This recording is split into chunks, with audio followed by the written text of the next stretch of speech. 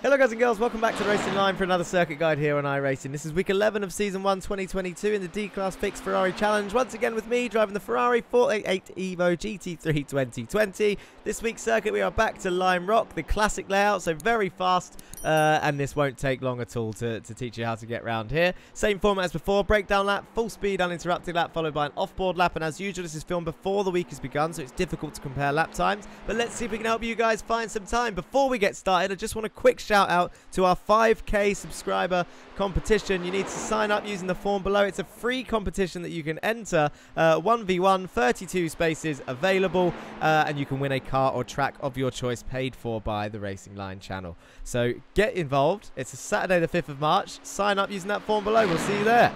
Now let's get started. On the left-hand side of this circuit, ready for the fast right-hander of turn one. The number two board is where we're going to brake from fifth down into second gear. Now watch closely the inputs because we trail brake in down into third, down into second, and then coasting for most of this entry part, just carrying the speed through, and then slowly applying the throttle on the exit as we go up into third gear. The next braking zone's a tricky one.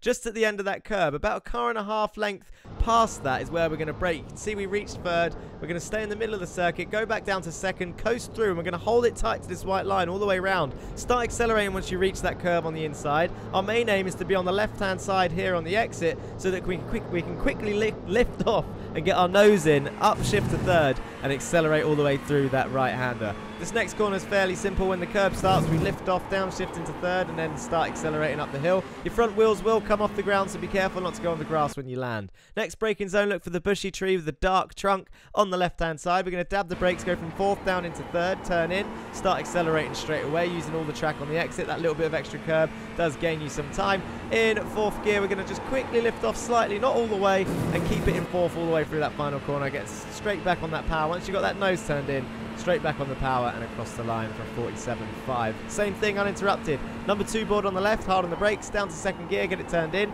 coasting all the way through, and then from this midpoint, start slowly applying the throttle as you reach third gear on the exit. Now about a car and a half length past the curve on the left, back down to second, hold it tight to this left, start accelerating through on the curb, Quick lift off, back on the power up into third on the exit and away we go. Holding it tight to this left hand side, over to the right, back over to the left with the flow of the circuit. When the curve starts, lift off, downshift third, start accelerating up the hill. Keeping it on the circuit as you go over with your front wheels off the ground. Bushy tree on the left, down to third, get it turned in, apex point, start accelerating, use the little bit of curve on the exit for a bit of extra speed, up into fourth gear, quick lift off to get the nose in, and then straight back down on the power using all the track, and away we go for this long main straight, and our main and possibly only overtaking opportunity here at Lime Rock Park. As usual, that's pretty much it from me, so I'm going to leave you with this off-board lap. Don't forget to keep those likes and comments coming in. Hit that subscribe button if you haven't already. It really does mean a lot. And enter the 5k sub, sub competition because why not? It's open to everyone, all iRatings, and it'll be a bit of fun. Just a bit of a laugh. It's nothing too serious, uh, and we hope to see you there. As usual, if I don't see you on track this week, then I'll see you next week for the next video here on the Racing Line. Peace!